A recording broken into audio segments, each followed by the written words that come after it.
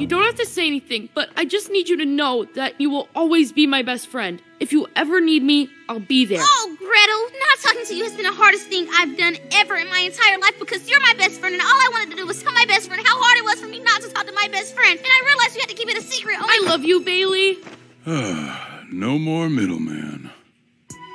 Can you believe our babysitter is the Destructress? What? Yeah, Lauren, she's the Destructress. No way!